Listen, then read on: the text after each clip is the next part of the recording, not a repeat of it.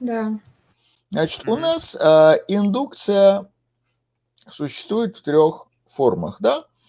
Значит, вот у нас есть принцип математической индукции. Он нам говорит, что для любого предиката на натуральных числах, если что-то это свойство верно для нуля, и наше свойство сохраняется при добавлении единицы, если из того, что оно верно для n, вытекает, что оно верно для n плюс 1, тогда наше свойство верно для всех натуральных, а, ну, кванты все по натуральным, для всех натуральных n. Ну, совершенно эквивалентно это можно сформулировать для подмножеств. Ну, почему? Потому что каждому свойству в соответствии ставится подмножество а, чисел, ну, которые ему удовлетворяет. То есть тогда как это будет выглядеть? Если 0 лежит в нашем множестве, и наше множество замкнуто относительно добавления единицы, то тогда у нас все числа там лежат. Но так как это заведомо подмножество натурального ряда, ну, можно сказать просто, что x совпадает с n. А вторая форма нашей индукции какая? Это принцип наименьшего числа. Как он выглядит? Ну, в терминах свойств, например, так. Для любого фи, если у нас существует какое число, которое обладает свойством фи, то существует число m, такое, что оно тоже обладает свойством φ, но все меньшие числа, они этим свойством не обладают. Ну или иначе говоря, для любого x, если у нас x не пустое, то существует m, который является наименьшим, давайте так напишу, является наименьшим в x. Так, пожалуйста, выключайте микрофон, если ничего не собираетесь говорить. Вот. Так, ну и а, еще одна форма принципа индукции – это принцип сильной индукции. Что он нам говорит? Он нам говорит, что для любого свойства, если это свойство, ну или множество прогрессивно, то есть что это значит? Если из того, что наше для любого n, а, если из того, что наше свойство выполнялось для всех чисел меньших, чем а, n, следует, что оно выполняется для n, если вот это вот верно, мы можем это назвать прогрессивностью свойства φ, то тогда свойство φ выполняется для всех натуральных чисел. Ну, альтернативный вид а, этого утверждения какой? фи верно для нуля и э, для любого n из того, что наше свойство выполнилось для нуля там и так далее. Вот для всех чисел меньших, чем n плюс 1, следует, что оно выполняется и для э, n плюс 1. Это понятно? Или не очень? Да понятно. Мы, мы же даже на лекции равносильность доказывали. Ну, не знаю, не знаю. Может, доказывали, но кого-то не убедили. И а, аналогично для множеств. То есть, если у меня прогрессивно множество x, давайте я это напишу для любого n, из того, что все числа меньше, чем а, n принадлежат x, следует, что n принадлежит x. Если n, если x вот так вот наследуется на большие числа, то x захватывать все натуральные числа. Вот наши принципы.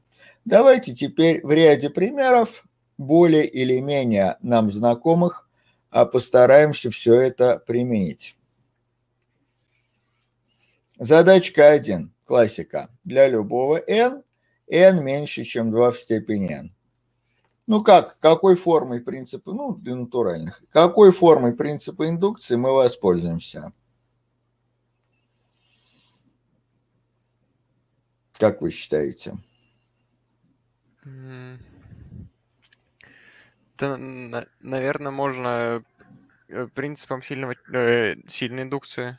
Ну, это перебор. На самом деле, для того, чтобы число было меньше, чем 2 в степени, а, чтобы n плюс 1 было меньше, чем 2 в степени n плюс 1, нам вовсе не обязательно знать, что происходит с меньшими числами. Почему? Ну, потому что это дважды 2 в степени n, правильно? Ну, значит, просто принцип математической индукции. Можно воспользоваться просто принципом математической индукции, а можно воспользоваться принципом наименьшего числа. Давайте для разнообразия используем принцип наименьшего числа как менее вам знакомый. Используем принцип наименьшего числа. Допустим, вот принцип наименьшего числа, он почти всегда используется в ситуации от противного – Допустим, э, что существует такое натуральное число, что это неверно. Но мы же знаем, что у нас порядок линейный, значит, вот это свойство, оно равносильно чему? Что значит, что n не меньше? Значит, больше n больше или равно, чем 2 в степени n. А, а дальше рассмотрим наименьшее. Вот, вот появляется дополнительная информация у нас в контексте. Наименьшее n такой, что n больше или равно 2 в степени n. Все. Больше никаких ссылок на индукцию у нас не будет. Ну, тогда, конечно, для любого числа, которое меньше, чем n, а, все-таки это число k, оно будет меньше, чем 2 в степени k, правильно? Да. Ну, потому что оно меньше. А теперь э, я разберу случай, чем может быть n. Но всякое число это либо 0, либо последователь какого-то другого числа. Ну, допустим, наш n это 0. По сути, мы делаем и рассматриваем базу индукции. Тогда 0 больше или равно, чем 2 в степени 0, чем 1. Но это же неправда. Неправда. А, То кстати, есть... ага. Э, если про 0 говорить, то а, нет, Так. все, все, все, все, все. Я сам ошибся. Мгм. Да. Так, ладно. Второй случай. Существует какой-то такой m, что n равно m плюс 1, да? Ну вот первое, что можно заметить, это то, что наше m, оно меньше, чем n. Правильно? Мгм. Но если оно меньше, значит m должно быть меньше, чем 2 в степени m. Но с другой стороны, m плюс 1 больше или равно, чем 2 в степени m плюс 1. Правильно? Да. Вот это мы постараемся привести к противоречию. Но э, в самом деле, как же нам поступить? Ну, например, можно вот это вот умножить на 2. Отсюда следует, что 2 в степени m плюс 1 а, оно больше, чем 2m. А, Правильно? Угу. Значит, отсюда у нас а, получится, что это больше, чем 2m. Или, иначе говоря, мы можем вычесть m из обеих частей, что m меньше единицы. Правильно? Угу. Но m натуральное число. Какое натуральное число меньше единицы? 0 только 0. Значит, m равен нулю. Значит, n равен единице. И мы опять обращаемся вот к этому вот а, предположению, к тому, что наше n это число плохое. И мы а, видим, что тогда а, единица якобы больше или равна, чем 2 в степени 1. Но это 2. Это неправда. В обоих возможных случаях получены противоречия. Ну, значит, от противного мы доказали, а, что вот это вот неверно. Значит, мы с вами получили, что вот это неверно, но раз из него следует ложь. Вот и все. Понятно? Да. Вот. Ну, как вы знаете, все эти принципы, они эквивалентны логически, то есть если вы можете это доказать с помощью одного, вы, конечно, это можете доказать и с помощью другого. Хотя не всегда очевидно, но за исключением того метода, который в доказательстве эквивалентности был, как естественным образом одно заменить на другое. Но конкретно эта простая задачка, она решается, конечно, всеми тремя способами очень просто. Давайте рассмотрим менее тривиальную задачу. Тут э, важное довольно наблюдение. Для любого n больше равного 3, имеется в виду натуральное, существуют такие числа а1, а n, они тоже натуральные, и давайте мы еще скажем, что они попарно различные.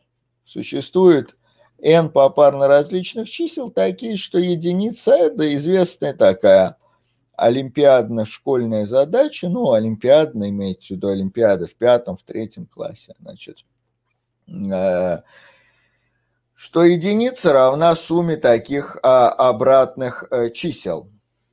Значит, ну, почему это так? Ну вот, например, для тройки. Тут как бы естественная база индукции – это тройка. И часто школьникам, например, говорят, что в применении принципа индукции, ну, можно а, в качестве базы брать не ноль, а что-нибудь другое. И тогда результат будет для всех чисел, начиная с этой базы. Но это просто некрасиво, нехорошо, когда вы меняете то, что вы называете принципом. Менять надо не принцип, а рассматриваемые утверждения. Сейчас мы с вами убедимся, что это совершенно несложно делается. А, так, ну хорошо, вот на три слагаемых такого типа можно единицу разложить? Есть какие-нибудь предложения? Ну, если АН, ну, если ашки могут быть равны друг другу, то можем взять... Нет, нет, нет, нет, нет, а, нет, нет. Попарно различные, иначе это ну, не одна интересно. Вторая, одна третья, одна шестая. Вот. Разложение для единицы на три слагаемых найдено. А на четыре можно? Да. А как? Можно, э, можно взять как, э, какую-то из дробей и Э, разбить ее на, на три части и... Ну, если вы на три, три, на три разобьете, получится, так сказать, да, пять я... частей, не, не, четыре. Вот мы разбиваем какую-то из этих дробей на три части и равные части, и а, пишем их как сумму, собственно, одной трети от этой дроби и двух, двух третей от, от этой дроби. Ну, пожалуйста. Это будет, э, Допустим, одну шестую. Одна, одна шестая умножить на одну третью, плюс э, одна шестая умножить на две третьих. Заменяем. Так. Ну, тут э, идея в том, что двойка сократится, да? Это получается у нас 1 восемнадцатая а плюс 1 девятая. Правильно? Угу. Ну да, это работает, хорошо. А дальше, например, вот мы на 4 разложили, а на 5. Да можем, мне кажется, мы в любом случае можем брать наименьшую из дробей и раскладывать ее таким образом. Брать наименьшую из дробей. Но если там, э, какое там число окажется? Может, там какое-нибудь простое будет? А, а ага, ща. То есть тут вам надо э, в предположении индукции запихнуть, что число будет само по себе получаться достаточно хорошим, чтобы такой номер прошел. Но, возможно, это можно довести до конца, но есть способ гораздо проще. Гораздо проще. Вот. Значит, он сводится вот к чему. Ну, смотрите, единицу мы представили в таком виде, правильно? Но ведь если мы представили в таком виде единицу, мы представили в таком виде любую дробь. Например, деля все это на 6, мы получим разложение для 1 шестой. Правильно? Да. Ну тогда у нас будет разложение единицы на 5. Но нам это не очень интересно. А нельзя ли нам делить это не на 6, а как-то более экономно? Давайте поделим на 2. Если мы на 2 поделим, у нас получится разложение для 1 второй. Правильно?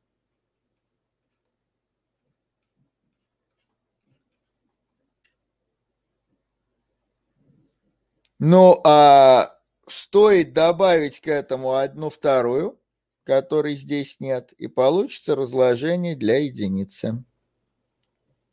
Как вам такой метод? Ну, работает. Работает? Да. Работает. То есть, э, если у нас основная идея какая? Значит, если у нас есть разложение на n таких э, дробей, то мы можем просто поделить на 2 и заметить, что единица это 1 вторая плюс э, полов... сумма половинок вот этих вот дробей. При этом важно, что здесь нету одинаковых. Почему? Ну, вот среди вот этих одинаковых нет, потому что деление на 2 – это инъекция для ненулевых чисел. И двойка не может быть равна 2 АИ, ну, потому что иначе бы АИ было бы равно единице, и у нас n тоже должно было бы быть единицей. Понятно это? Да. Давайте попробуем формально это сделать. Обратите внимание, наше утверждение начинается с тройки. То есть что это означает? Формально мы э, можем наше фи, которое мы доказываем, писать таким образом. А, Если n больше или равно тройке, то тогда вот существуют такие А1, АН, ну и то, что там от них требуется. То есть в виде импликации, ну или, соответственно, если в терминах множеств, э, ну вы можете взять множество всех таких n, что э, соответствующее свойство там выполняется. Понятная идея? Да. Э, Давайте попробуем формально с этим поработать. Ну, например, в виде свойства, как э, более привычном для нас виде. База. А, База всегда ноль. Но в данном случае это, конечно, такая фиктивная база. Содержательно база является тройка. Сейчас мы поймем, что, как и почему. Ну, действительно.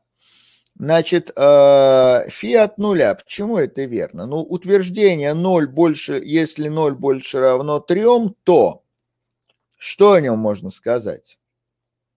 Об этом утверждении. Заведомо истины. Ну да, потому что у него посылка ложная. А раз у него посылка ложная, то а, само оно истина. То есть э, база здесь тривиальна. Все, базу мы проверили. Теперь я хочу доказать индукционный переход для любого n. Если фи от n, то э, значит фи от n плюс 1. А, Как водится, э, вот это у нас предположение индукции. Как мы доказываем вообще такую фигню? Рассмотрим произвольный n, правильно?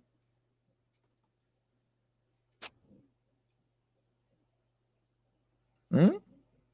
Ну да. Далее, Допустим, допустим, э, Fiat N Fiat выполнен. N. Но вот это не всегда, не всегда нам поможет. Что такое фиатен, кстати? Это значит, что если n больше равно 3, то существует разложение. А вот. То есть понятно, что реально воспользоваться вот этим допущением, я напоминаю, мы его называем а, предположение индукции, или по-английски сокращенно IH, Inductive Hypothesis. Значит, допустим, вот это вот. А мы хотим что? Мы хотим, чтобы если э, n плюс 1 больше или равно 3, то, значит, э, существовало бы там что-то. Поэтому мы можем, э, раз мы хотим импликацию, мы можем то, что n плюс 1 больше или равно 3, а, добавить, ну даже, ну ладно, не надо. Вот хотим такую импликацию. А теперь смотрите. Дело в том, что я могу предположение индукции применить только если n больше или равно 3, правильно? Мгм. Да. Вот смотрите, разберем разные случаи. Первый случай. Вот когда у нас n э, плюс 1 меньше 3, тогда что? Тогда n либо 0, либо 1. Ну, это нам не надо. Тогда вот это же ложь. Ну да.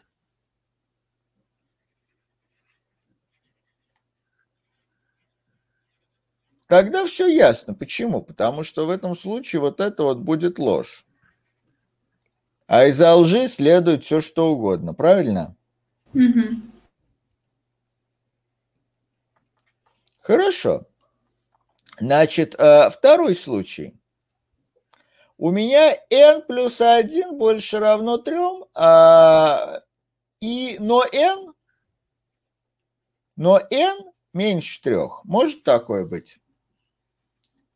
Вот это реальная настоящая база. Мгм. реальная база нашей индукции. Почему? Потому что э, я не, не могу применить э, предположение индукции, поэтому это и база.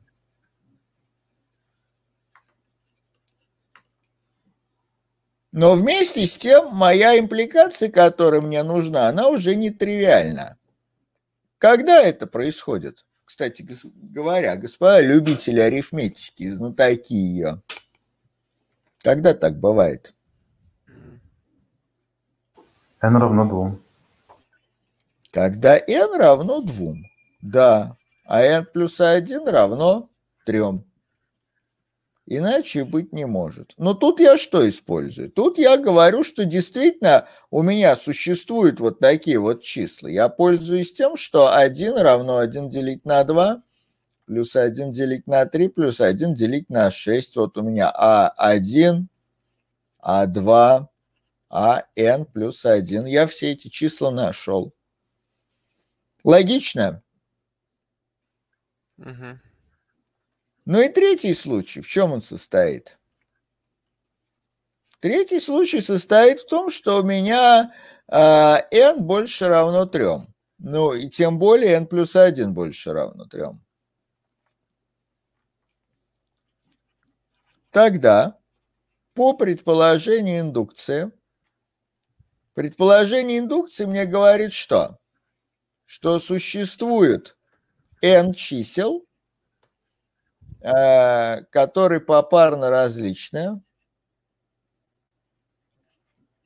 которые попарно различны, и такие, что сумма обратных к ним э, дает нам единицу.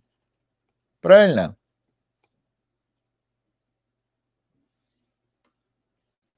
Так, что, все отключились? Да, правильно. Да, мы не отключились, мы... Так, хорошо.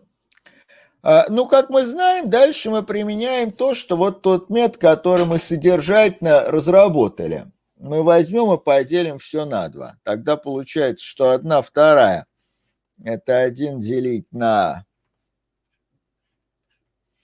ну, сумму вот таких чисел. Ну, а значит, единица – это 1 вторая плюс все вот эти вот числа. Ну и, соответственно, их-то я и могу взять в качестве моих новых ашек. Это будет, например, h'1, это будет h'2, ну и так далее. h' плюс 1. Мне надо показать, что все они разные, чтобы завершить доказательство. Ну почему? Как это сделать? Ну, если 2АИ равно 2АЖ, что отсюда следует? Ну что, АИ равно АЖи. Что АИ равно АЖ. Такое может быть только если И равно Ж. Почему? Потом, По по предположению индукции, они все были различными. А могло быть так, что двойка равно АИ тому. Ну тогда АИТ было Тогда равно... аит не Но да. единица, и у нас бы получилось... Тогда больше. АИТ равно единице. Тогда получается, что вот наша сумма, э, она у нас содержит одну вторую, да, и вместе с тем она еще содержит одну вторую. То есть она уже заведомо а, больше или равна единице, правильно? Значит, тут слагаемых нет. Значит, у нас сколько слагаемых всего? n плюс 1 равно 1. Извините, n плюс 1 равно 2. У нас, значит, может быть только два слагаемых, правильно? Да. Но если n плюс 1 равно 2, а, то это противоречит, конечно, тому, что в нашем случае n плюс 1 больше равно 3.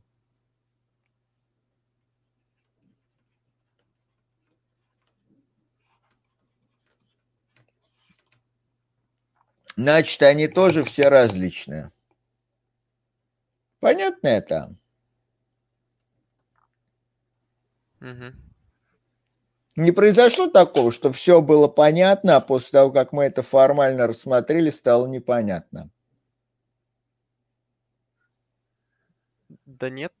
А и когда нас задачи на индукцию будут, нужно будет решать, все прям настолько же формально ну, нужно будет а, тут, э, тут нельзя дать э, однозначного ответа, потому что если задача простая, понятно, что там происходит. Конечно, это не нужно. Но бывают случаи трудные, и задачи бывают весьма хитрые. И там для вашей собственной пользы, чтобы не запутаться, рекомендуется все делать формально. То есть это зависит от задачи. Ответ такой. А мы, конечно, индукцию будем очень часто видеть, и в большинстве случаев это будет несложная индукция, а, а значит, вот э, такое внимание к деталям немножко излишне. Но идея в том, чтобы вы просто умели эти детали восстановить, если вас об этом попросят. Понятная идея? Да, понятно. Хорошо. Следующая задачка. А, следующая задачка предполагается тут применить а, принцип а, сильной индукции. Допустим, вот у нас есть какое-то вещественное число, и нам известно, что 1 делить на а плюс а – это целое.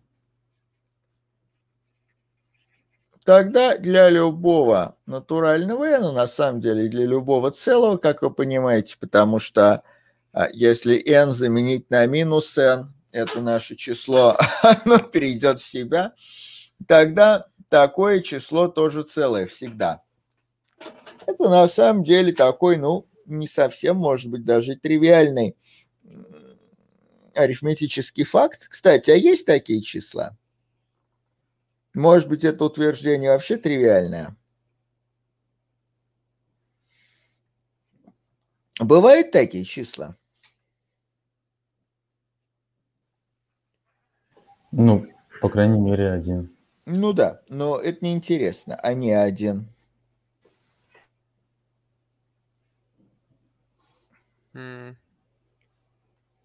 Кажется, что нет.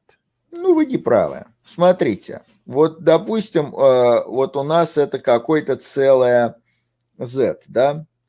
Давайте, э, понимаешь, что там а не нулевое, умножим на него. Что тогда будет? Получится а в квадрате минус КА плюс 1 равно нулю. Согласны? Угу. Получилось квадратное уравнение. Но когда у него есть решение? Надо посмотреть, какой у него дискриминант, да? А, ну да.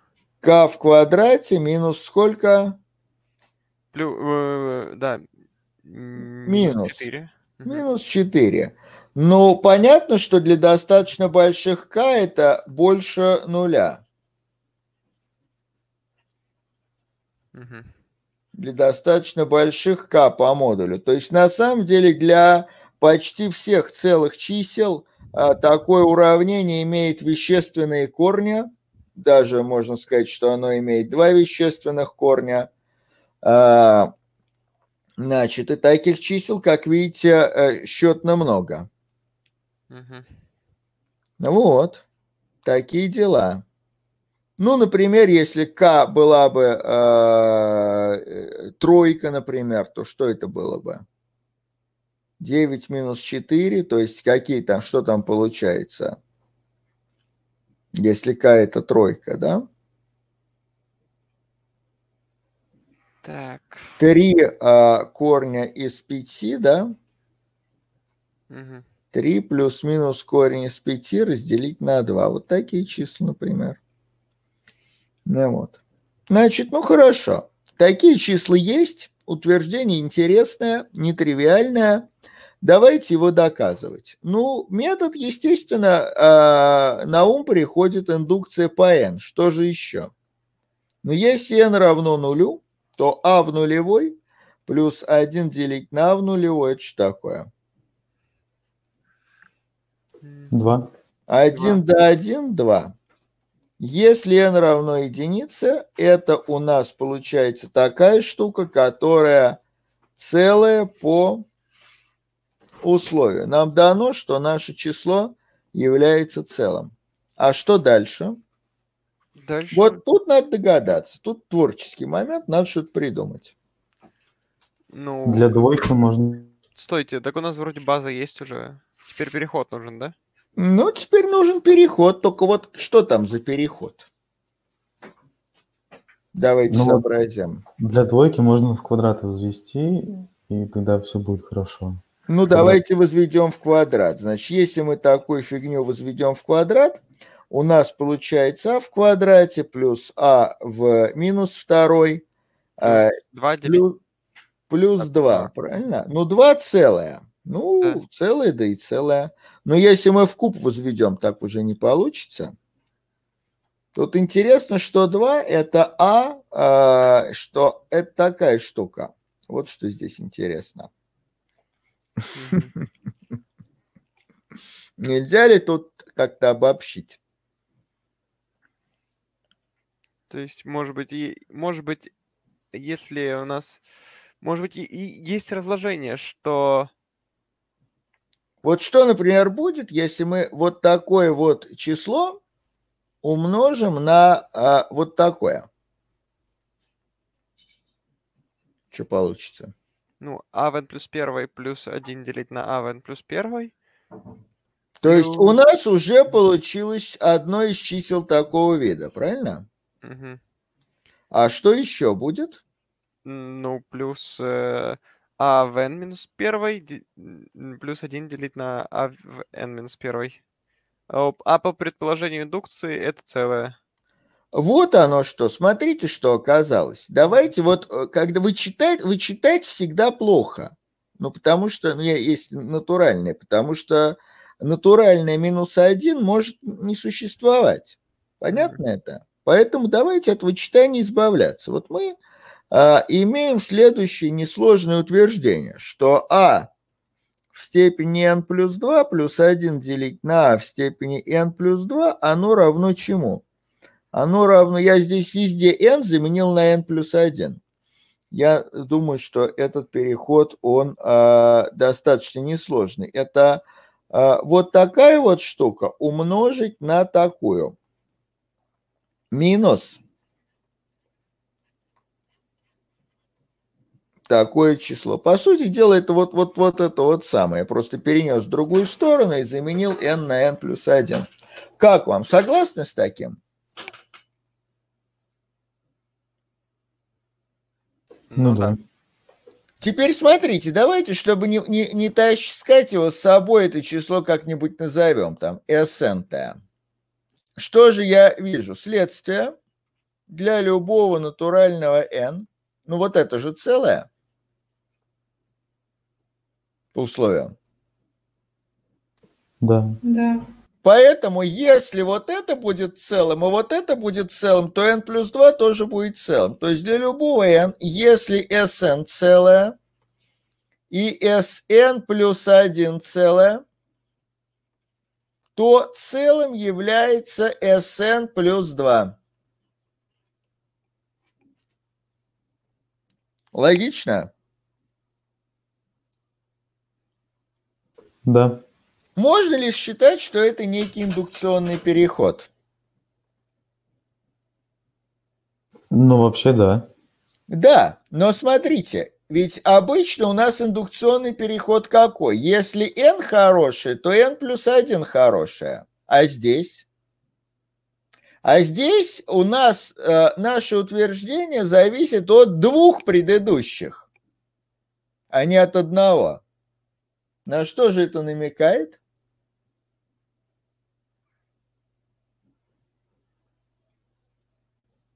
А, на сильную индукцию. Это намекает на сильную индукцию. В данном случае мы делаем всегда ровно два шага назад. Поэтому, ну, это не совсем такое полнокровное применение сильной индукции. Сильная индукция разрешает нам использовать наше утверждение вообще для любых меньших чисел. Не обязательно а, с какой-то фиксированной разностью с текущим. Но, тем не менее, принципа сильной индукции точно достаточно, а принцип математической индукции, ну, без какой-то хитрости, тут не срабатывает. А знаете, какая будет хитрость? Давайте в качестве, э, так сказать, замечания. Можно применить ПМИ, а если доказывать такое свойство. А, из того, что Sn и Sn плюс 1 целые, следует, что Sn плюс 1 и Sn плюс 2 целые. Вот. Вот если вы будете такое свойство а, доказывать, то для него пройдет просто принцип математической индукции. Понятно это? Да. Ну почему? Да. Потому что, чтобы вот это было целым, вам достаточно вот этого. Ну, а чтобы целым было вот это, ну, ну у вас это явно сказано. Вот. Вот такие вот дела. Но мы не будем этого делать, а мы честно воспользуемся сильной индукцией. А, используем сильную индукцию. А в качестве свойства, которым будем доказывать, ну, э, понятно, что это э, значит, что Sn – целое. Нам нужно доказать, что оно прогрессивно. Хотим вот такое свойство, что для любого n, если у нас все а, числа меньше, все, прям вот все, если у нас все, а, для всех а, m меньших, чем n наше свойство выполняется, так, извините, не натуральное, а целое. Так, э, господа, вы не утратили еще? Да, кажется, что нет.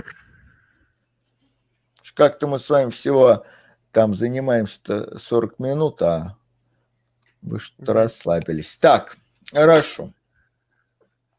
Значит, э, вот хотим такую вещь доказать. Ну, смотрите, вот э, вопрос в том, нам, конечно, хочется применить вот это следствие. Давайте его звездочкой обозначим.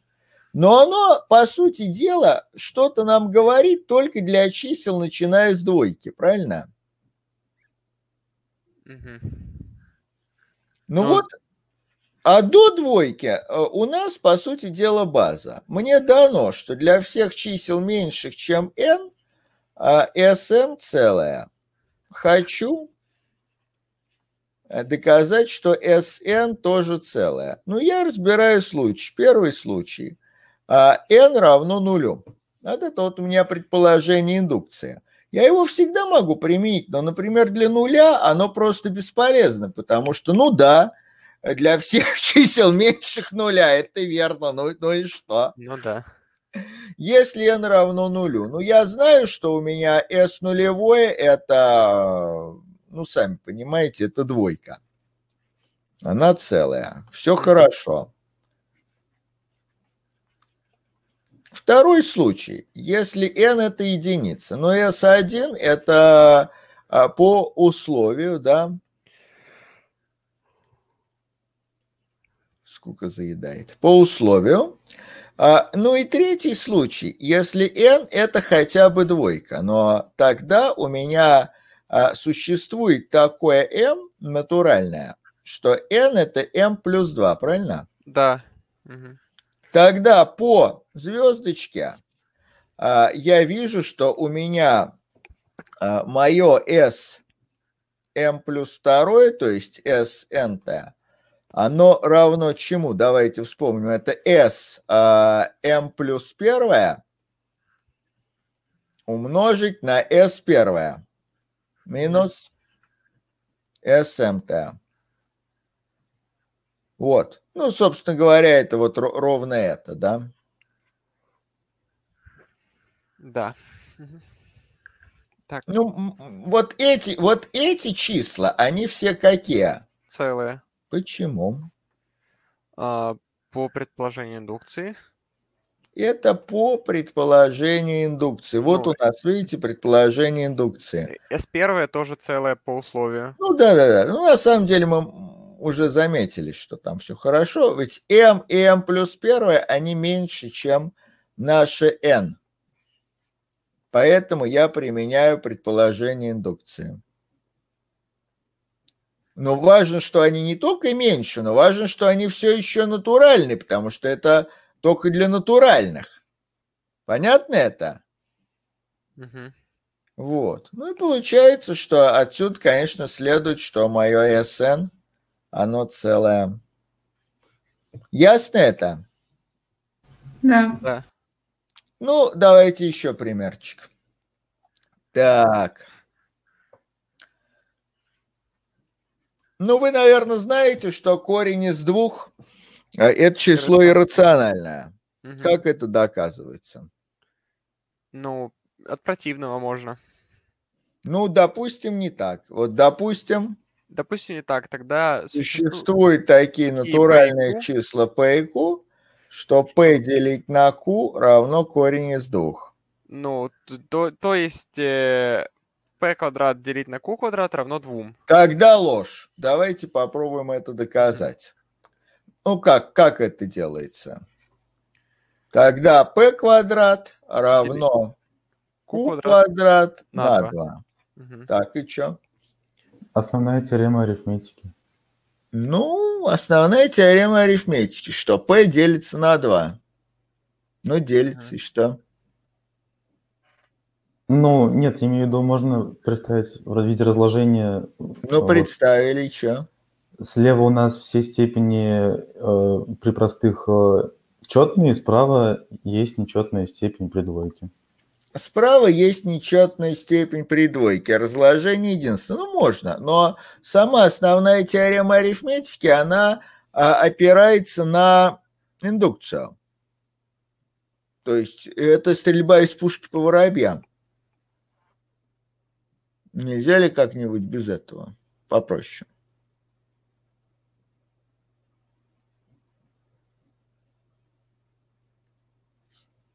Ну, можно сказать, что а, тогда а, P четная, правильно? Мгм. Ну, значит, э, и P в квадрате тоже четно. Используем не всю теорему, а кусочек.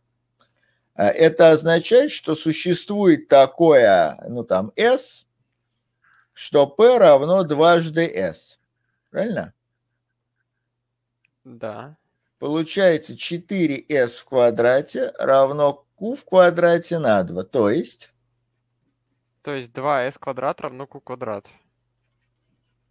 Но дальше точно такие же соображения. Тогда Q четная. Мгм.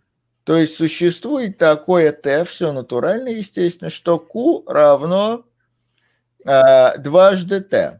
И получается бесконечная цепочка. Получается 2s в квадрате равно 4t в квадрате, откуда следует, что s в квадрате а, равно 2t в квадрате. Мгм. Ну или иначе говоря, s делить на t равно корню из двух. Правильно? Да.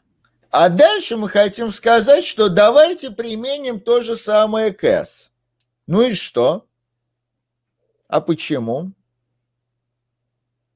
М, Почему нельзя? Почему это бесконечная цепочка, чему она противоречит? Какому свойству? Потому что p, p... Сейчас. у нас p получается в два раза больше s, а q... Но Да, в два раза АКУ в два раза, в два раза меньше, чем там это самое. Тут проблема в том, что э, у нас э, получается, что мы смогли уменьшить числитель, правильно? Мгм. А у нас дробь несократимая по условию. А нет, такого условия у нас не было. А, мгм. Естественно, можно было бы взять несократимую дробь, но это опять э, ссылки на основную теорему арифметики. Есть такой немножко более прямой способ все это сделать. Он такой, надо взять не несократимую дробь, а такую дробь с наименьшим числителем. Мгм. Вот смотрите, вот э, какая здесь логика. Раз существует такое P натуральное, что существует такое Q, что там P делить на Q равно корень из двух, а, то по чему? по принципу наименьшего числа существует наименьшее, наименьшее такое P. Понятная идея? Да. Его и рассмотрим. Вот мы с вами возьмем наименьшее такое P. Тогда для любого S, которое меньше, чем P, уже точно не может существовать никакого Q, такого, что SQ, S делить на Q равно корень из двух. Для меньше уже не существует. Ну да. И вот если мы взяли вот такое, если мы взяли наименьшее такое p, то мы по-прежнему получаем вот такое вот равенство, находим s, а, и а, как мы уже заметили, мы приходим к тому, что st равно корень из s делить на t равно корень из двух, но s-то меньше, чем p. Почему, кстати? Потому что S меньше, чем Q, меньше, чем P. Ну, потому что P вдвое больше, чем S. Но есть а, единственное да. число, которое не меняется при умножении на 2, не увеличивается. Это 0. Это 0. А, поэтому нам надо сделать простое замечание. Очевидно, а, что P не равно нулю, да? Но если натуральное число не равно нулю, то при умножении на 2 оно увеличивается. Поэтому s меньше, чем p. Понятно это? Да. Значит, в результате нам удалось уменьшить это число. Мы нашли такое s, которое меньше, чем p, но для него существует знаменатель такой, что получается корень из двух. Вот оно противоречие которую мы и хотели. Понятно? Да. Та же самая мысль э, позволяет э, доказывать э, несколько такие менее очевидные теоретики числовые факты, где даже и не сказано, что надо что-то доказать по индукции. Найти все целые решения, найти все целые решение вот такого уравнения. 8 на а в четвертой плюс 4 на b в четвертой плюс 2 на c в четвертой равно d в четвертой. Что вы скажете на это? Ну, 0 подходит. 0, 0, 0 решение, да? Угу. Это очевидно. Есть ли не нулевые решения? Не нулевые – это где не все нули. Кажется, что не может быть. Сейчас это нужно будет противного доказывать. Ну, замечание номер один. Первое. Если x, y, z, там W решение, а, то а, учитывая, что у нас степени-то с вами четные везде, угу. если я возьму их э, модули, то получится тоже решение. То есть решений э, всегда нечетное количество. Бог с вами, мы, это могут быть бесконечное а, число а, решений. Да. Вот у вас, видите, все время вшита интуиция конечных множеств. Это не очень хорошо. Значит, э, что тут можно сказать? Я к тому, что если есть целое решение, то есть и натуральное решение. В натуральных. То есть, если есть не нулевое, где не все нули, не нулевое решение в целых, то есть не нулевое решение в натуральных. Логично? Да. Да. Теперь смотрите, пусть у нас x это множество всех э, не нулевых натуральных решений.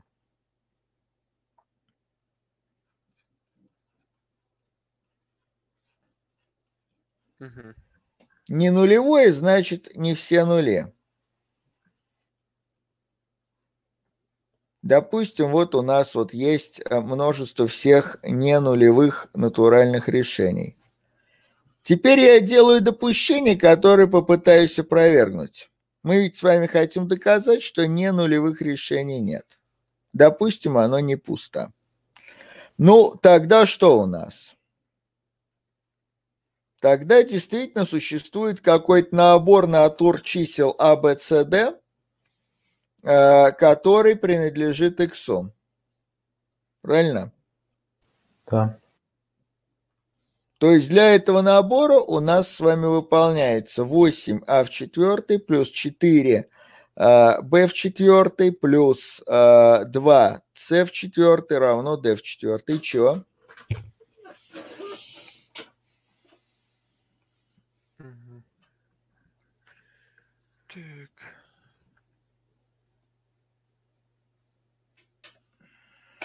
А, ну сейчас получится, что... А, нет, не, нельзя так. Смотрите, это четно. Да. Значит, d четно. Мгм. Значит, существует такое d1, ну что а, d равно 2d1, правильно? Подставляем, получается 16d1 в четвертой. Значит, можно все поделить пополам. Значит, можно действительно везде сократить двойку. И что получается? Получается, что а, минус 8d1 в четвертой а, плюс 4а в четвертой плюс 2b в четвертой равно а, минус c в четвертой. Но смотрите, ведь это же по-прежнему четно. Мгм. Значит, у нас c в четвертой. а, Это а, тоже четное число. Оно имеет вид 2c1. Получается минус 16c1 в четвертой. Что дальше будет? Ну, дальше получится, что d1 в четвертой равно 8а в четвертой плюс э, 4b, в- б, б, 8а1 в четвертой плюс 4b1 в четвертой плюс 2c. Да, получается, что и b, и а, они тоже четные. Дамы и господа, вы с нами, вот кроме тех, кто выступает? Да. Отлично. Значит, получается, что все эти числа четные. Понятно, как мы к этому выводу Да. приходим? Мгм. А если они все четные, тогда что мы видим? Мы а, можем сократить на 16. Тогда у нас получается, а, мы просто подставляем вот эти А1 и прочие сюда. Тогда у нас получается вот такая вот штука, правильно? Да. Да. Я 16 забыл. Так, 16, D1 четвертый. Это 16 сокращается. Что же остается? Остается уравнение э, такого же вида, как изначальное. Это но означает, что А1, Б1, С1, Д1 – это решение, причем оно не нулевое. Мгм. Почему оно не нулевое? Ну, потому что если не все А, Б, С, Д были нулем, то при делении на 2 хотя бы одно из них тоже осталось не нулем. Да.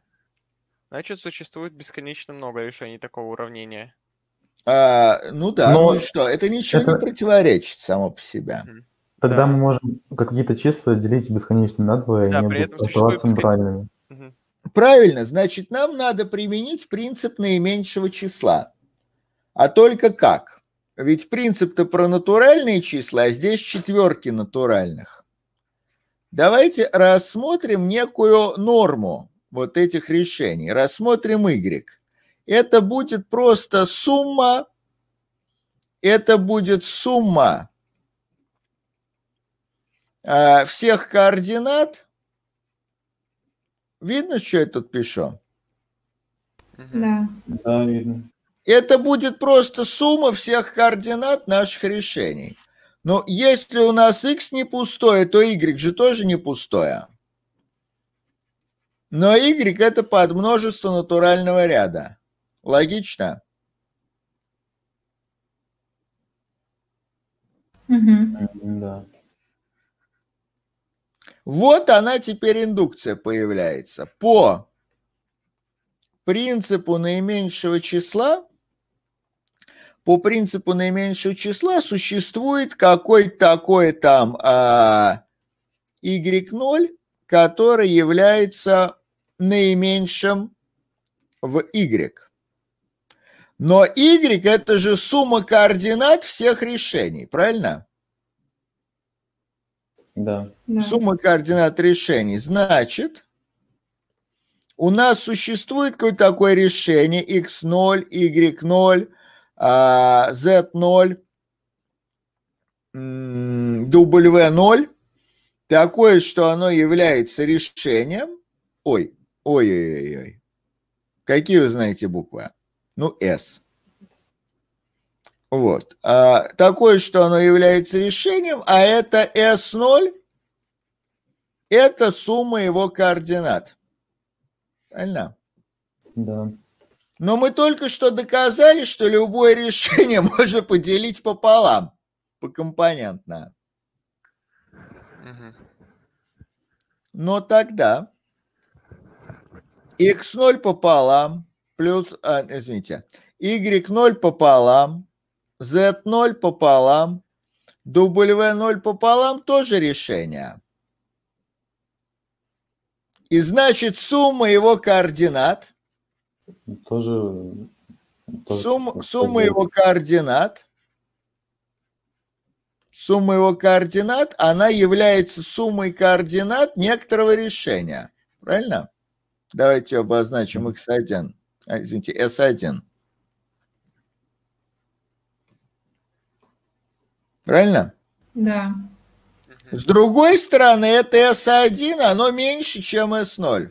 А S0 это наименьшее в Y. Да. Наименьшее в Y. Ну, что получается? Ну, противоречие получается. Понятно? Да.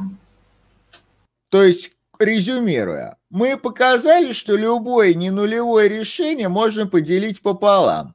При этом некоторое натуральное число убывает. Ну, например, сумма координат решения. Получается, что если бы решение было, у нас бы получалось бы множество натуральных чисел не пустое, без наименьшего элемента, что невозможно. Ну, такой подход называется методом бесконечного спуска. По сути дела, эта индукция есть в форме принципа наименьшего числа и а, довольно часто применяется вот в теории чисел. Понятно это? Да, Да. понятно. Тут у нас есть очень хорошая задача, где предлагается доказать, что деление с остатком возможно. То есть существует неполный частный остаток, но, к сожалению, мы ее пропустим, видимо. Так, рекомендую сделать это самостоятельно. Решение, если что, написано вот в том моем конспекте, который на английском, но это несложно.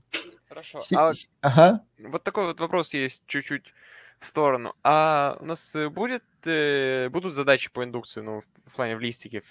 Ну нет, там их нету, но индукция применяется много где. Но специальных упражнений на индукцию у нас не предполагается. Хорошо. Но там множество задач по теории множества, они требуют индукции. Вот давайте разберем одну типичную ситуацию. Очень часто бывает, что то утверждение, которое вам нужно доказать, оно по индукции не получается его получить. Почему? Ну вот, э, если мы вернемся к формулировке принципа индукция, э, мы увидим, что смотрите, как он устроен. Надо, чтобы из э, фи от n следовало фи от n плюс 1. Ну, понятно, что чем само по себе свойство фи сильнее логически, тем вроде бы легче доказать, что из него следует n плюс 1, правильно? Да. чем сильнее посылка. Но с другой стороны, в заключении тоже стоит фи, только для другого числа. И поэтому чем э, сильнее фи, тем труднее его доказать из фи от n. И вот тут э, происходит такая э, борьба. То есть утверждение, конечно, должно быть не слишком сильным, не ложным, например. Самое сильное утверждение ложное, как я думаю, вы уже знаете. А, но и не слишком слабым, чтобы мы могли доказать его по индукции. А поэтому часто является ситуация, когда вот ровно то, что вы хотите, по индукции не удается доказать. Но вы утверждение усиливаете, доказываете его по индукции, а затем, ну, в качестве следствия получаете то, что вам было нужно. Вот есть очень красивая задача, принадлежащая, видимо, Шиню, которая э, иллюстрирует эту мысль. Э, представьте себе, что у нас есть пустыня такая одномерная. Ну, пустыня это ее можно отождествить с э, натуральным рядом. Там есть такие километровые столбики, которые означают, э, ну, так сказать, километры продвижение в пустыню. Понятно это? Да. У нас есть машина. Она, допустим, может на полной заправке проехать 100 километров. Ну или сколько-то, ну пусть 100. В точке 0 у нас находится бесконечный резервуар нефти. Мгм. Бензина там. Которым машина может заправляться. Машина может возить с собой бензин, ну, в пределах бака. Ну, вот сколько там у нее есть, столько она может вести. В каждой точке имеется пустой резервуар, тоже неограниченного объема. Ну, можно считать, что в каждой километровой точке. Вот она может э, у любого столбика создать какой-то запас бензина. За счет чего? за счет того бензина, который у нее имеется в баке. Мгм. Только за счет этого. А, Требуется доказать, что она может доехать в пустыню сколь угодно далеко. Ну, очевидно утверждение Фиатен. Можно доехать до N. Можем ли мы это доказать по индукции? Давайте попробуем. Можно ли доехать до фи-0, до, до нулевого километра? Да. Да. Мы уже Мы там и там стоим. Мгм. правильно. Допустим, можно доехать до n-того. Следует ли отсюда, что можно доехать до n плюс 1? Ну вот вы до n-того доехали. Давайте мы n сюда поместим. Вот вы до n-того доехали, так и что? Э, Если мы доехали до этого, значит у нас э, Значит, вам хватило Значит- доехать бензина до. Да, Больше и- ничего не значит. Ну, нет, это значит, что суще- мы совершили какую-то последовательность действий, чтобы доехать до этого еще. Ну, совершили, совершили. Ну, хорошо, ради бога, совершили. Нам, когда мы доехали до N-1, у нас осталось еще бензина на 1 километр.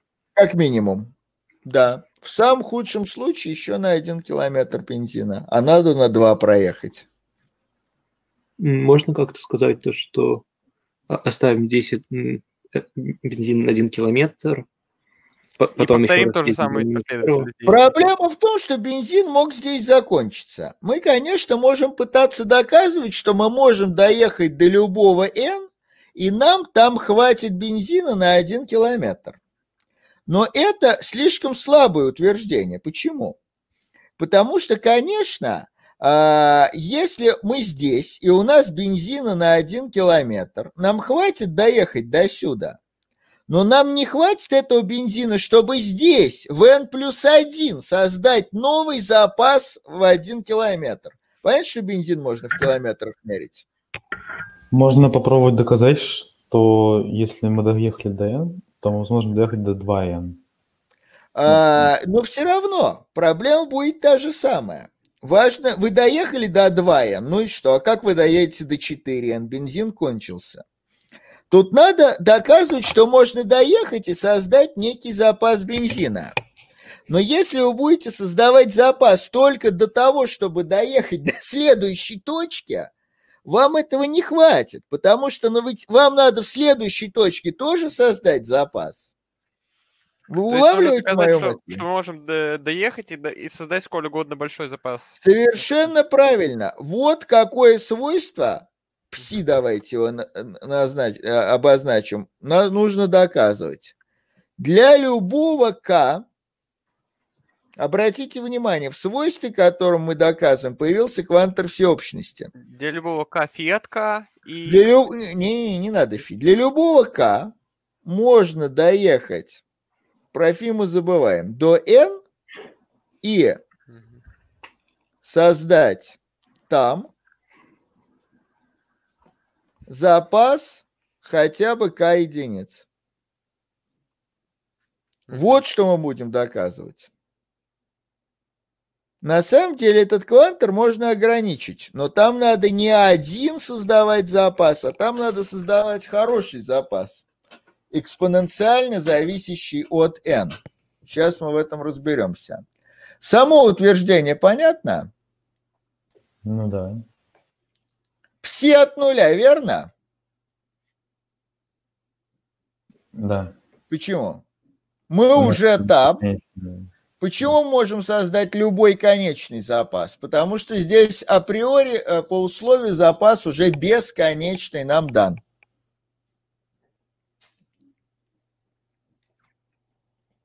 Понятно это? А вот там мы создаем запас для больше либо равно k единиц. Написано. Да, хотя бы k. Ага. Ну, если он больше, это не повредит. Я только это имел в виду. Проверена база? Да. Допустим, у нас есть предположение индукции. Допустим, можно а, доехать до n и создать там какой хочешь запас. Вот у нас предположение индукции. Что я теперь хочу? Хочу доехать до n плюс 1 и создать там запас хотя бы с- создать там какой-то запас К. Итак, как же я могу вот сюда доехать и создать здесь запас К?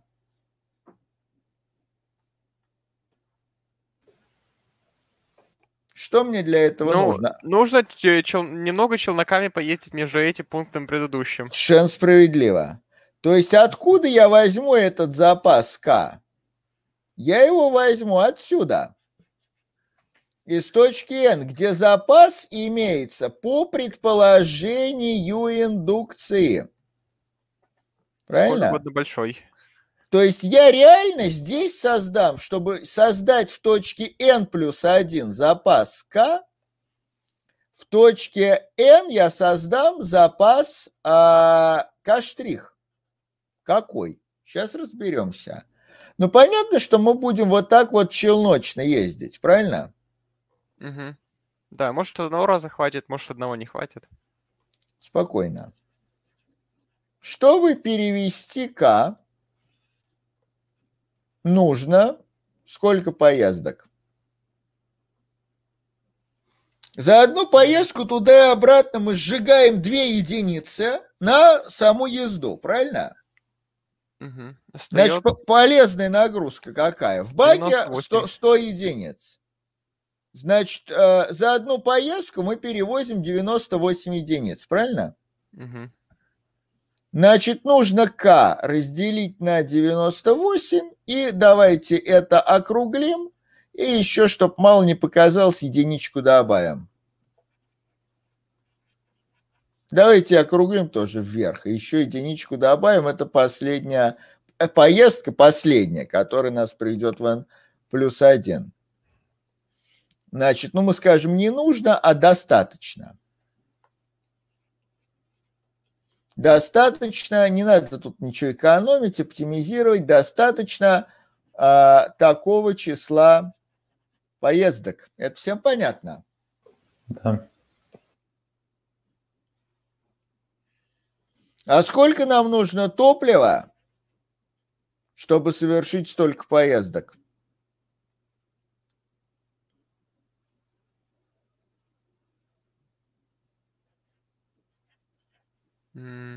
Ну, 100. Мы же ка- каждую поездку с полным баком начинаем. А, ну да. Заправились, приехали, слили 98, вернулись. ну, 100 на вот это число поездок, да. 100 умножить на вот это число.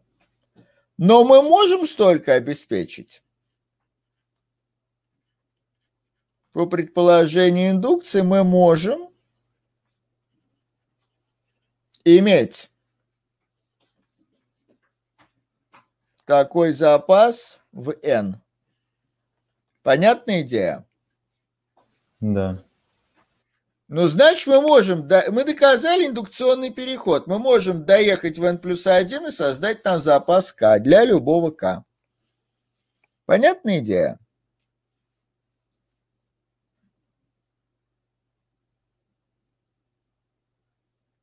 Или не очень? А, понятно, понятно. Я. Э, Полезно э, спросить, а приблизительно что это такое? Ну, это 198, правильно? То есть, если я здесь хочу создать запас К, здесь мне понадобится вопрос, э, давайте это 198, это какое число альфа, которое больше единицы. Тут получается альфа К, здесь у меня будет что? Альфа в квадрате К, а здесь альфа в ntk. То есть у меня вот такой вот экспоненциальный рост происходит. Количество бензина, которое я на каждой станции должен задействовать. То есть, чтобы доехать до n километра, я должен из э, начально отсюда э, взять вот столько бензина. Мгм. Понятно это? Да. То есть, мы, ну, поскольку мы в явном виде все указали, сколько нам потребуется, то Отсюда следует, что я тут мог бы немножко наше утверждение уточнить. Меньше или равно, чем там а, альфа n. Ну, э, на самом деле, нет, ну да, ни к чему. Так, ну понятная идея. Мгм. Вот, хорошо.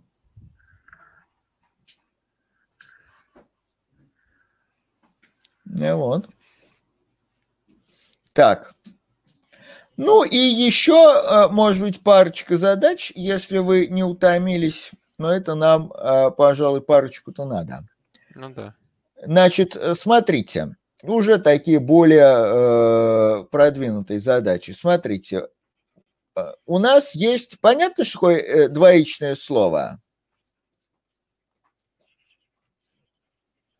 Ну, двоичное слово – это последовательность конечная, нулей и единиц. единиц, да? Мгм. Есть двоичное слово длины n большое. А, разрешаются преобразования.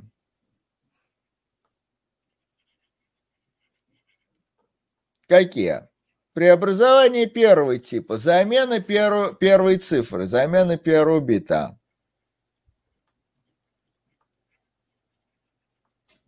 То есть, если у нас вот какое-то слово было, а, оно там с чего-то начиналось, с какого-то C, а дальше там x1 и прочее, Мгм. xn, то я могу его э, бит заменить на противоположный. Понятно. Ну, то есть, по сути говоря, мы можем а, мы можем при- б- п- прибавить единицу и перейти и пропихнуть эту единицу в следующий разряд. А, ну почему? Следующие разряды никак не меняются. И у нас есть замена бита после первой единицы. А, так То даже легче. Если, если у нас было вот такое вот слово, ну тут C, то я могу вот этот C заменить на противоположный бит. Понятно, какие у нас есть преобразования? Да. Да. Это всем, всем ясно. Ну и утверждение. Из любого слова можно получить любое другое той же длины, естественно, длина не меняется, конечной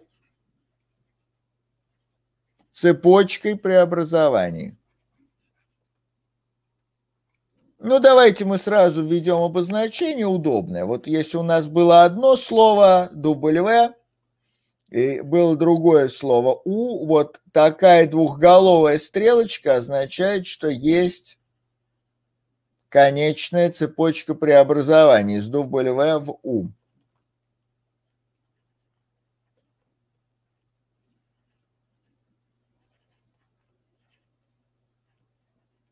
Понятная идея? А зачем на W и с эти стрелочки? Не понял. Ну, я обозначение такое ввожу. От W можно Q прийти вот э, конечной цепочкой. Хорошо. Ну, например, давайте в качестве примера я докажу, что 1, 0, 1, 1 можно преобразовать во что? Ну, любое четырехбуквенное слово. Ну, 1, 1, 0, 0. ну да. Как это можно сделать? Давайте смотреть. Ну, Нам надо, конечно, поменять последний бит. Это самое сложное, правильно? мгм. Что Ну, мы для этого по делаем? идее, щ- сейчас нам нужно э, заменить первый бит. Заменили первый бит. Получилось такое. Заменить бит после первой единицы. Да, заменили бит после первой единицы. Это преобразование второго типа. Получилось 0010. Заменить первый бит. Теперь нам надо а, вот эту единицу опять поменять на 0. Но перед этим надо вот этот 0 поменять на единицу. Мгм. А, заменить бит после первой единицы. А, заменить первый бит. А, заменить бит после первой единицы. Так, заменяем бит после первой единицы. Вот этот вот 0, 1, 0, 0. Ну Так, уже первый- похоже. О как. Чего-то у нас они чередовались совсем прям. Может, это не случайно? Есть вопросы по цепочке? Нет. Случайно ли они чередовались? А, ну, хороший вопрос. Но дело в том, что может, например, э, э, преобразование 2 идти подряд. Ну, может. Если, например, там вот вы а, Да, что-то да. такое. Ну, это легко придумать. Вот Да. один-один подряд они, конечно, идти не могут. Так, ну что, доказали? Дамы и господа, кто Да. следит. Да, доказали. Кстати, а на самом деле два подряд тоже идти не могут, потому что первая единица же никак не меняется. А, ну да, тоже верно. Потому что э, тот бит, который мы там поставим, он перестает быть битом после первой единицы. Правильно, согласен с вами, да. Теперь давайте попробуем доказать, что это можно сделать всегда. Для этого нам надо утверждение, которое мы доказываем, сделать достаточно сильным. Вопрос, по какому параметру будет вестись индукция? По длине слова можно. Это не, не, не хороший вариант. Почему? Потому что на самом деле длина слова в наших а, рассмотрениях вообще А. никак не участвует. Е- Евгений Либо по, Владимирович, по да. единиц. можно. раз уж мы доказали, что у нас, э, по сути, есть всего э, одна операция, ну ладно, на самом деле две, но, но может по количеству операций вести индукцию. Можно вести индукцию по количеству операций, но как? Ведь нам не дано, что есть какая-то цепочка. Нам даны два слова. Нам даны два слова, и мы хотим доказать, что цепочка есть. Ну, То нам, есть да- от- откуда брать это количество нам, да- операций? нам даны... пусть нам дано сло- слово длины n, э, какой-то длины, тогда понятно, что с помощью на- наших операций, если применить их достаточно много раз, то из любого слова мы придем в то же самое. И по- попутно побывать, побывав в Но каждом другом. это, это как раз э, ни к чему, потому что конечная цепочка по определению, в том числе пустая. В то же самое мы можем прийти, ничего не, не делая. А, я, я, может, не услышали, я бы сказал, попутно побывав в каждом другом э, слове такой же длины. Ну, так это утверждение содержит то, что нам нужно. Потому что, побывав в каждом, мы придем в каждое. Давайте лучше Можно посмотрим, как этот процесс. Смотрите, мы ведь, э, чтобы заменить последние, а, последний бит, мы превращали все биты до него в 0,00001. Правильно? Мгм. Чтобы заменить вот этот вот бит, вот этот, что мы делали? Мы все биты до него превращали в 0, 1.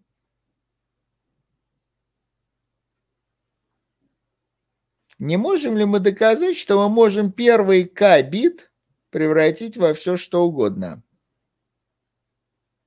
Если мы можем первый k превратить во все что угодно, то и первый k плюс 1 тоже. Превратим первый в 0,0001. Тогда и k плюс первый бит можно поменять. А это не является индукцией по длине слова? Нет, не Это совсем. является индукцией по длине префикса, который мы преобразуем. То есть утверждение будет такое. Наше фи, оно выглядит а, следующим образом. Фи от k. Для любого k, дальше идет для любого а, n, для любого слова v длины k, для любого слова у длины k, много кванторов всеобщности.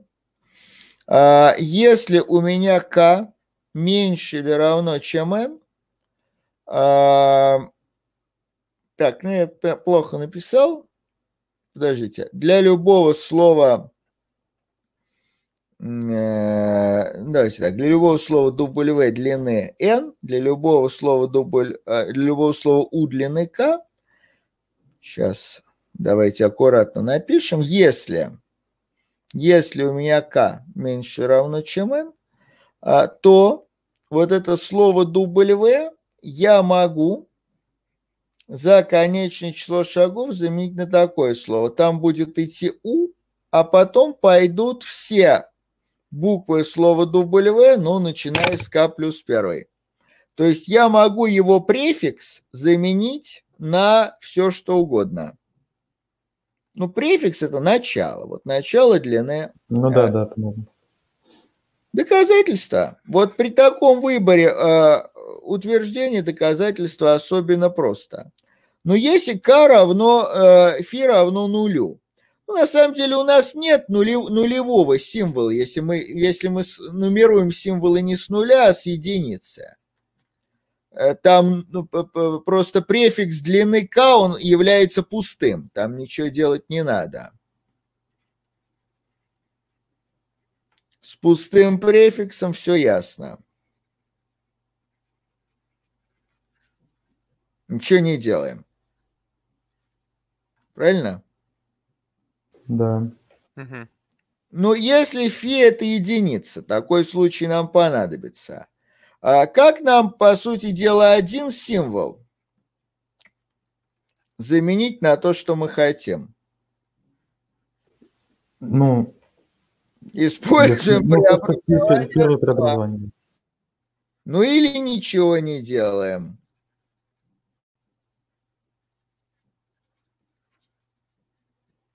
Или ничего не делаем, если а, u просто равно w1, это u1.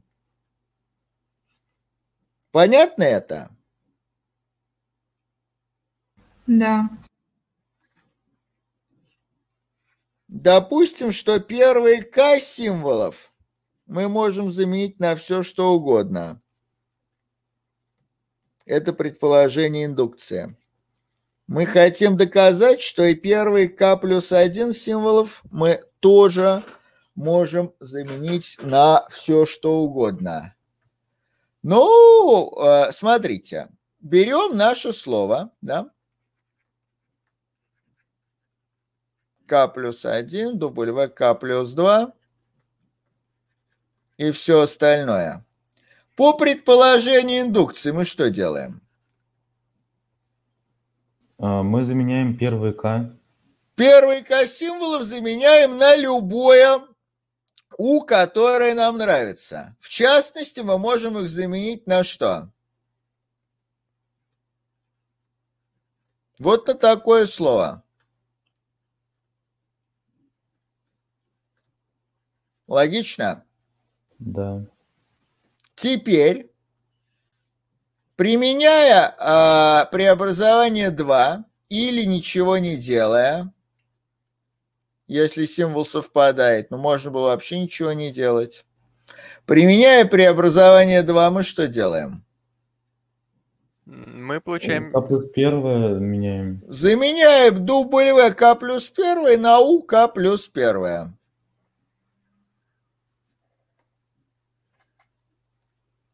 Остальные символы остаются на месте, правильно? А Да. теперь мы видим, зачем нам был нужен квантор по W. А, Мы именно утверждаем, что любое слово длины n можно подвергнуть такому преобразованию, в том числе и вот наше новое слово, которое, вообще говоря, не равно исходному W, с которым мы начали. Так. Ну, Нам важно, что здесь квантор всеобщности по словам тоже. Поэтому к этому слову тоже применимо предположение индукция, которое позволяет его префикс длины k заменить ну, на то, что мы хотим. Понятно? А при этом у нас э, гарантируется, что К плюс первый у нас не поменяется при вот этом переходе. Ну, конечно, гарантируется. Смотрите утверждение. Мы можем заменить, вот здесь у нас было W1, WK. У нас именно префикс меняется. Ну да, да. Ну вот, остальное остается. Тут это прямо написано. Ну что, понятно? Да.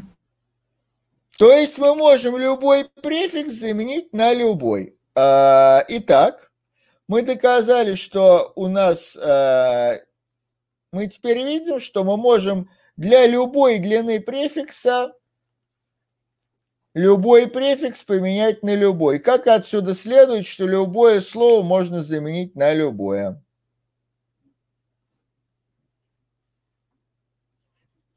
Какой надо взять префикс?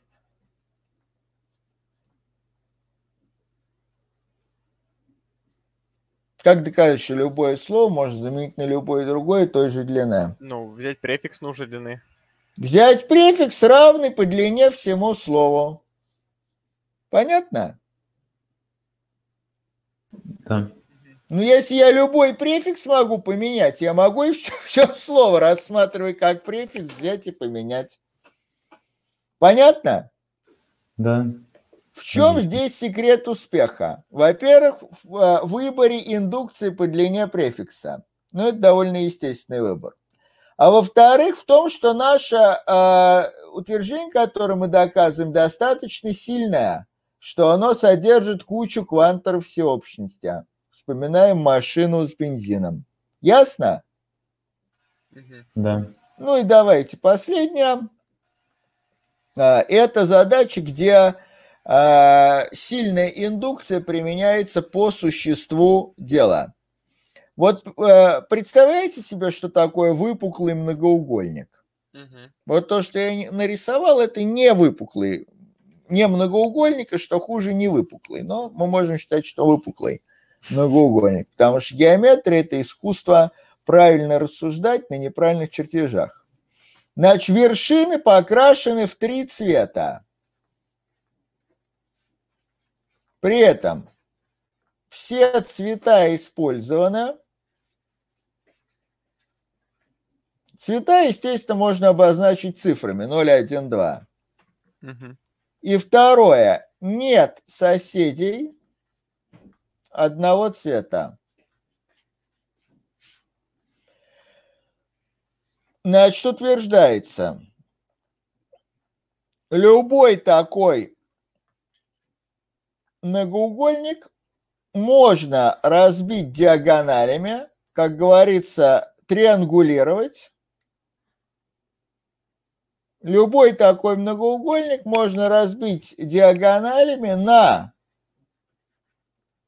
треугольники, у которых есть вершины всех трех цветов. Ну, исходя из темы нашего семинара, предполагается, конечно, решать эту задачу по индукции. Только вот что тут за индукция? А Какого диагонали пара? должны быть не- пересекающимися? А, должны, ну, конечно, разбить. Мгм, понятно. Иначе что значит? Иначе не разбить. Ну, пример. Давайте, чтобы не быть голословными, вот пятиугольник.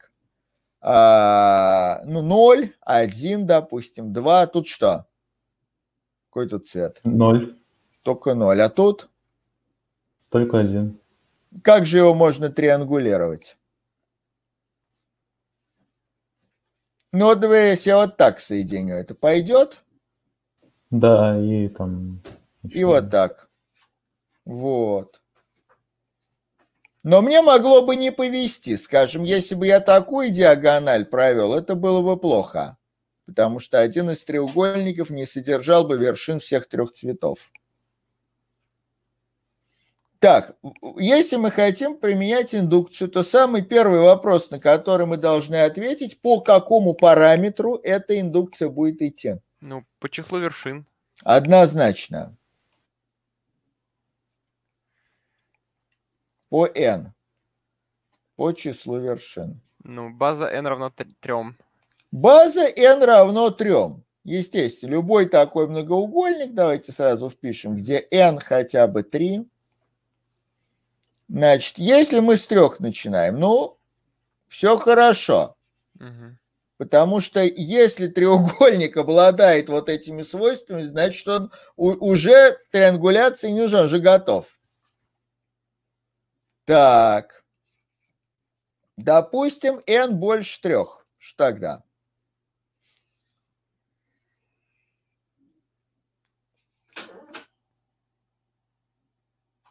Пожалуйста.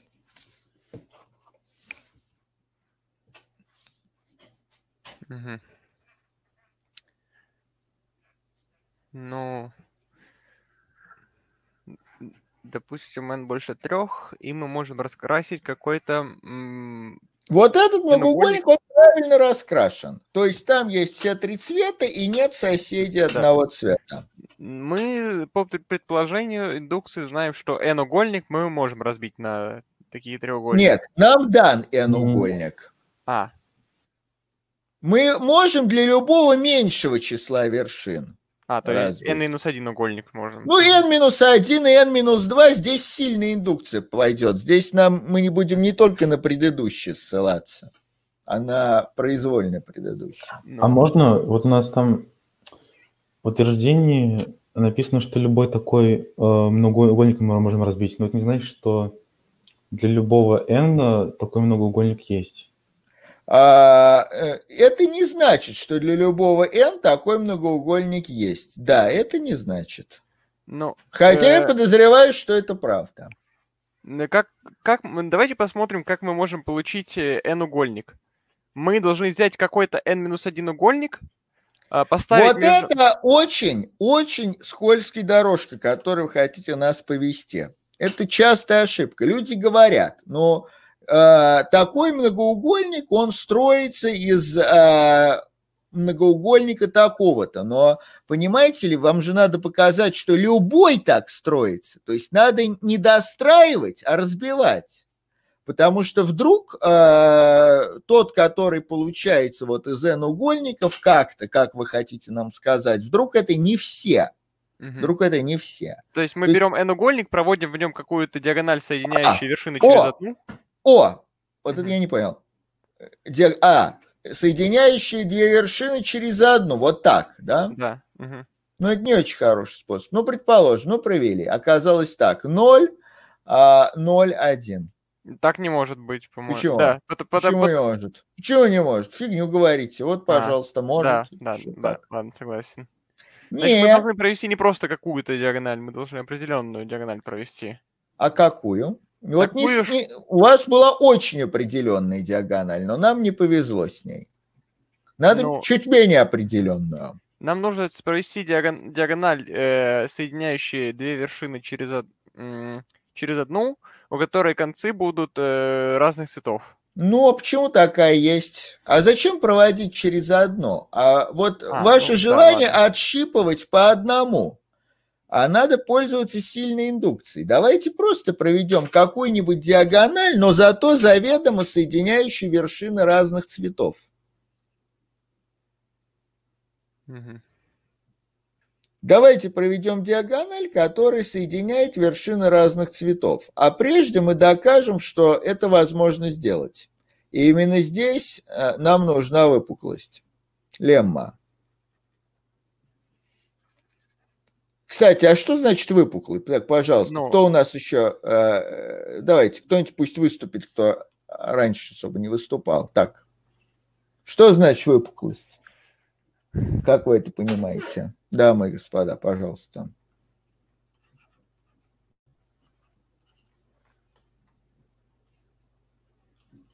Ну, все точки многоугольника лежат по одну сторону от любой прямой, которая проходит через две его соседние вершины. Ну, а, можно так сказать, а можно сказать чуть по-другому.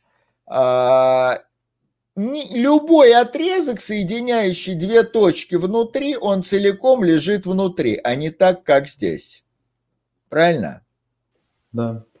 Да. В частности, если этот отрезок является частью стороны, получается, ну, там то, что вы говорите. А общее определение выпуклого множества, у которого нет там сторон, оно такое. А, любой отрезок, соединяющий две точки, целиком принадлежит множеству. Если n больше четырех, то в многоугольнике есть, а, вот не в любом, а в правильно раскрашенном, есть диагональ, соединяющая вершины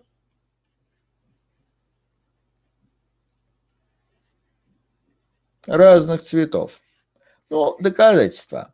Мы же с вами помним, а, что у нас есть вершины трех разных цветов. Правильно? Да. Ну, потому что мы рассматриваем только те, где все цвета использованы.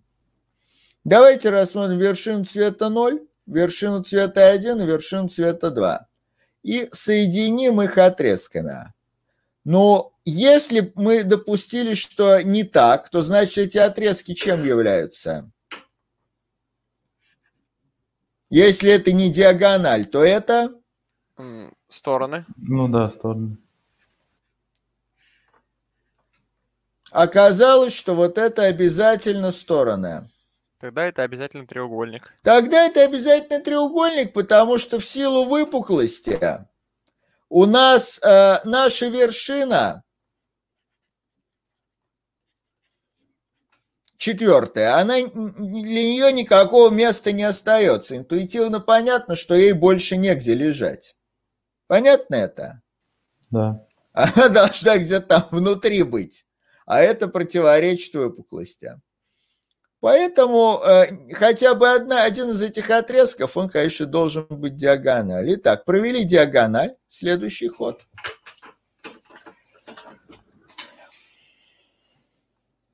Значит, э, в принципе, хотя бы по да нет, Переходим вообще к по- двум... треуг- Ну, можно перейти к двум этим многоугольникам, Да. которые мы разбили. В каждом, в каждом из этих многоугольников нету соседей одного цвета, и в них меньше вершин, чем в нашем.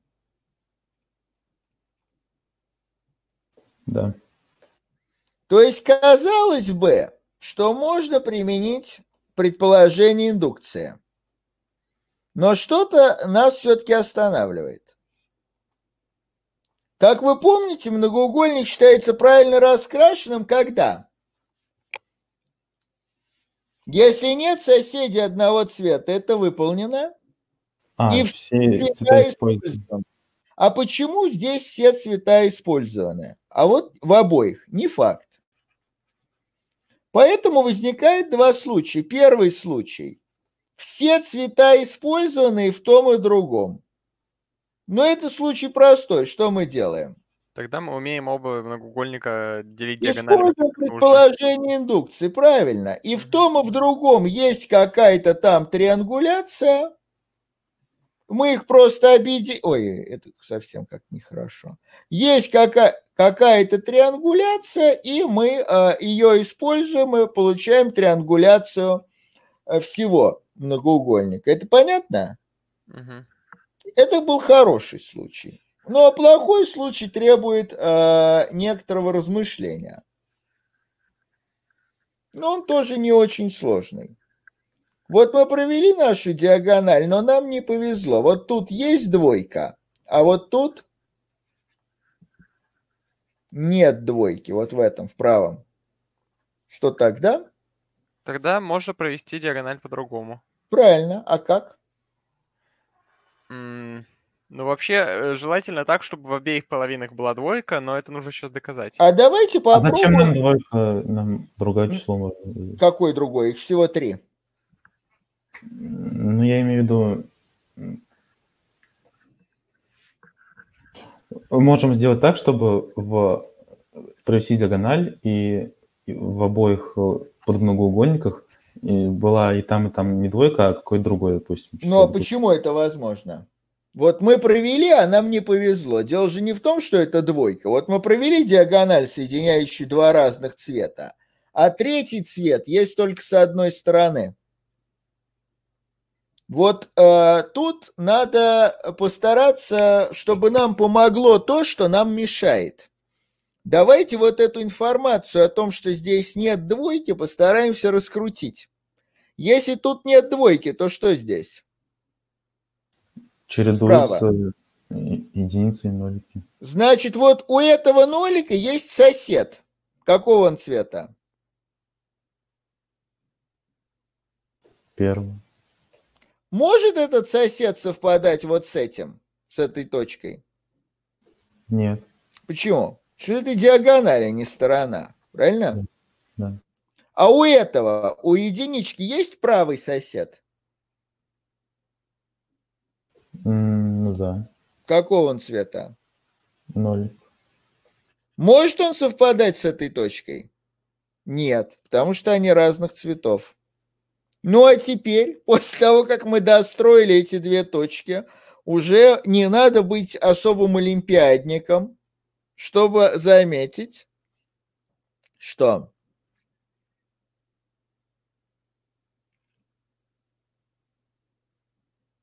ну, смотрим в книгу, видим фигу. Ну, что если соединить их в виде хорд диагонали, то ничего не поменяется. Ну, батенька, что-то вы что-то не то нам предлагаете. Надо с двойкой соединить. Мгм. Ну, а А, теперь, да, тогда двойка будет в обеих частях. теперь у нас э, здесь есть 2, 0 и 1. И здесь есть 2, 0 и 1.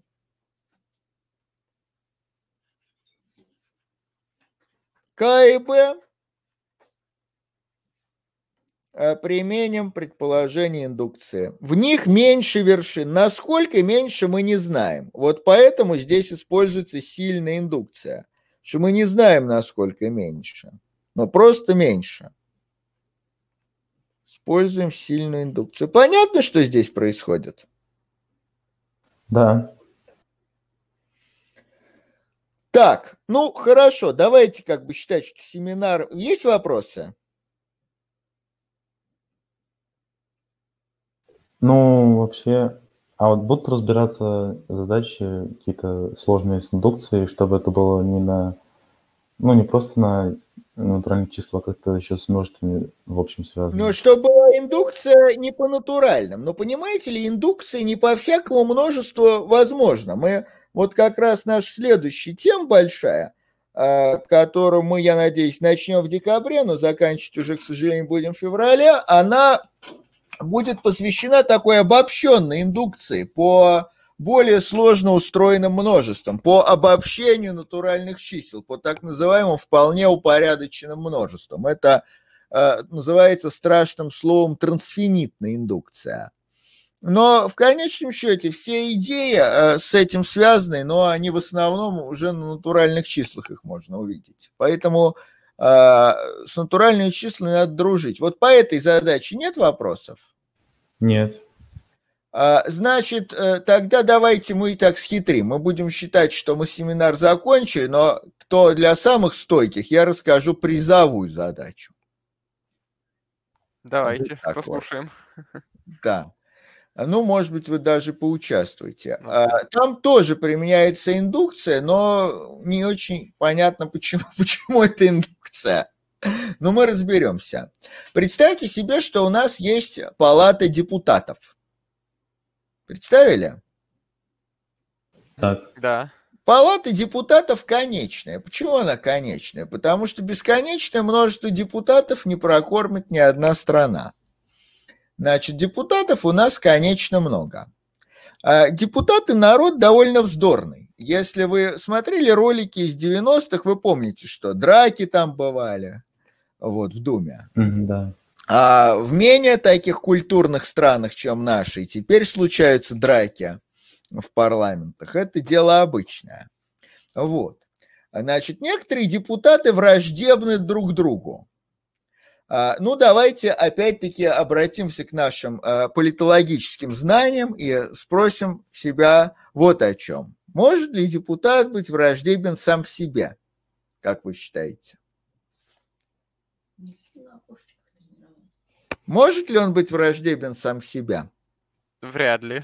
Вряд ли. То есть депутат это человек позитивного такого а, витального характера, что, конечно, он не является юношей бледным со взором горящим. Он не будет там вешаться ни в коем случае. То есть к себе депутат относится хорошо. Сам в себе он не враждебен. То есть отношение враждебности двух депутатов, оно, конечно, и рефлексивное.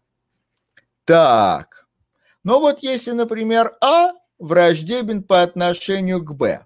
Как вы считаете, что будет делать Б в таком случае? Будет ли он подставлять другую щеку? Опять-таки, опираясь на наши знания о депутатах. Наверное, тоже он будет... То есть отношение си- си- симметрично. Симметрично, конечно. Значит, э, в парламент не берут таких вот, э, это, это же не монахи, а депутаты. То есть подставлять друг- дру- другую щеку они вряд ли станут. То есть перед нами и рефлексивные симметричные отношения. Петель не бывает, а, и а, у нас каждые две вершины, они либо враждебны друг другу, либо нет. А такого рода структура называется графами, к чему я и клоню. Ага. Вот у нас есть такой граф, и что нам дано? Ну, нам, нам нужно его сделать двудольным. А, Не совсем Не совсем, не совсем. У Зачем? каждого депутата а, не более трех врагов. То есть, ну, в графовых терминах степень каждой вершины не больше тройки. Мгм. Что нужно сделать? Нужно, Нужно- разбить на Две два, на, на два множества не пересекающихся, так что внутренних врагов, то есть внутри группы, внутренних врагов Будет не, не больше одного. будет у каждого не больше одного. Вот как это сделать? Наверное, по индукции. А что за индукция? По числу Ну, депутатов, да? А, обычно, э, исходя из моих знаний о графах, обычно в них ведется индукция по э, либо по вершинам, либо по ребрам, но чаще всего с убиранием чего-то, то есть именно с убиранием вершины или ребра. Ну, давайте А, да. смотреть. Если мы э, э, удалим какую-то вершину какого-то депутата, но у нас останется меньшее число депутатов. Но если мы их привели в порядок, допустим, меньшее число депутатов можно разбить, да? Вот они как-то там. А, но есть новый депутат. А, вот он, я не знаю, вот как, как его удалить. Что мы о нем можем сказать? Ну, у него где-то есть враги. Например, у него здесь два врага, а здесь у него один враг. Что мы с ним делаем? Вот если его убрать, допустим, все хорошо. Ну ладно, да, здесь, здесь, здесь не получится убиранием, кажется. А, здесь э, более естествен следующий подход. А давайте их разобьем как-нибудь и попробуем поправить. Назовем депутата плохим, если он относительно разбиения, если он э, имеет э, больше одного внутреннего врага. Понятно это? Да. Какие бывают плохие депутаты? Ну вот могло так статься, что у депутата два или три внутренних врага. Он плохой. Плохих депутатов будем красненьким обводить. Угу. Значит, что мы с ним будем делать? Ну, в любом случае, если мы переведем его в другую часть парламента, то ну, в Думу, другую часть Думы, то у него там... Но мы не говорим, что это прошлый. Дума. Не надо, не надо. Это какой-то иностранный парламент. Это не наша Дума. В нашей Думе все друзья. Вот. Значит, а, а, тогда у него вот э, он станет хорошим, правильно? Да. Он ну, станет да. хорошим. А может, может ли какой-то еще депутат испортиться? Да может. Какой?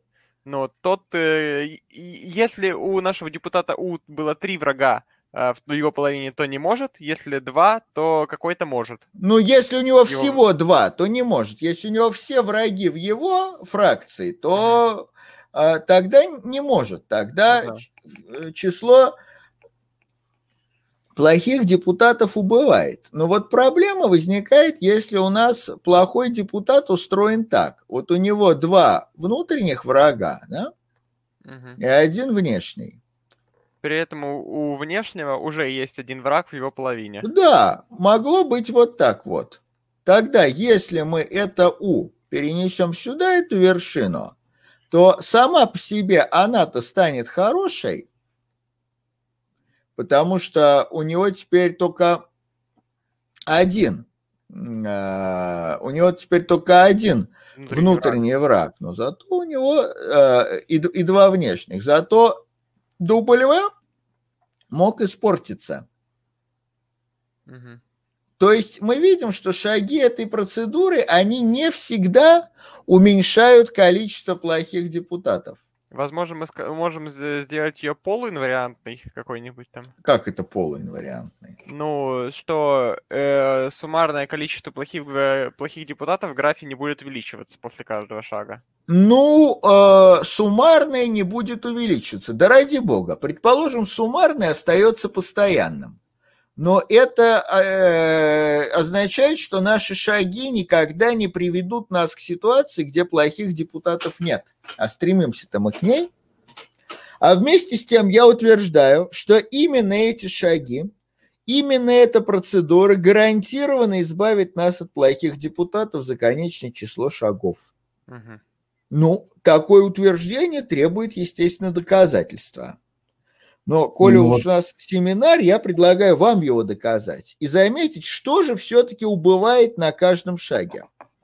Общая канва такая. Натуральный параметр не может убывать бесконечно долго. Правильно? Да. Почему? Почему не бывает бесконечных убывающих цепочек натуральных чисел? Да это просто принцип наименьшего числа. Потому что в любой э, цепочке натуральных чисел есть наименьшее число. Логично? Да. Вот, что же здесь убывает на каждом шаге? Какой параметр? Внимательно смотрим на картинку.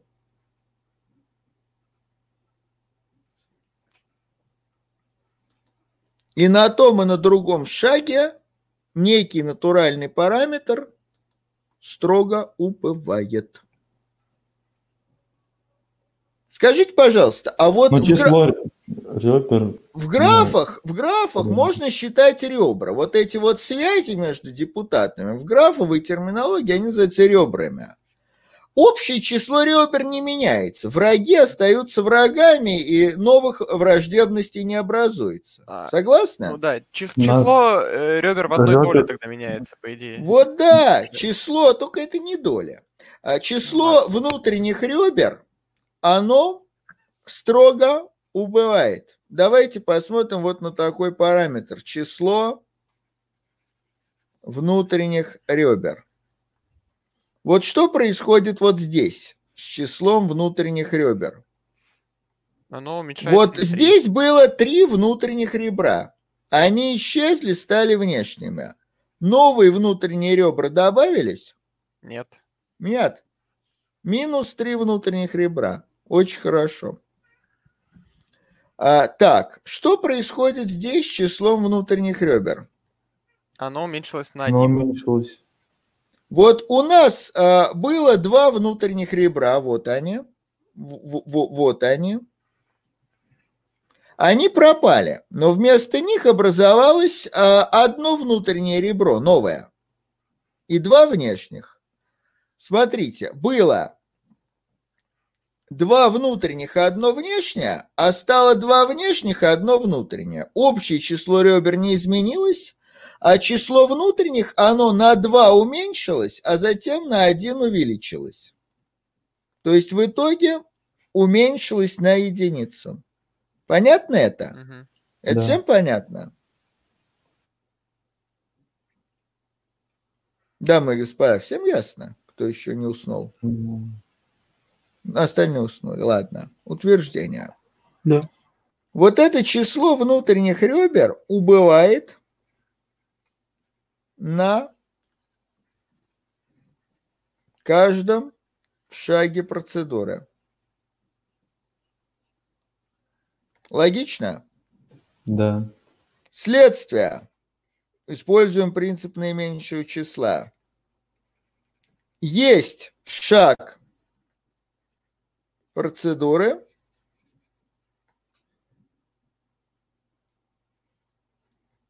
но есть э, последний шаг процедуры.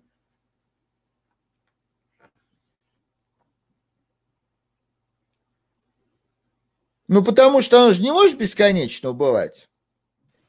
Да. Но у меня есть такое утверждение. Пока есть плохие депутаты,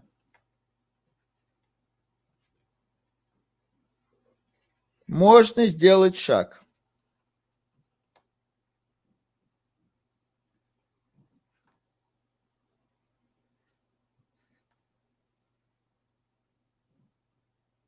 Как вам такое? Ну да, можно его перевести. Ну вот, мы же, мы же доказали это, И- что пока есть плохой депутат, шаг можно сделать. А вместе с тем есть последний шаг процедуры. Какой же вывод из этих двух? Значит, что если не- нельзя сделать шаг, то тогда плохих уже нет. Да? На последнем шаге нет плохих депутатов. Но это означает, что наша процедура приведет нас к разбиению, где плохих депутатов нет, где все депутаты хорошие, то есть имеют не более одного внутреннего врага. Понятно это? Да. Смотрите, мы не только доказали, что существует разбиение, мы сделали гораздо больше. Мы привели алгоритм, про который мы доказали, что он завершается и строит хорошее разбиение.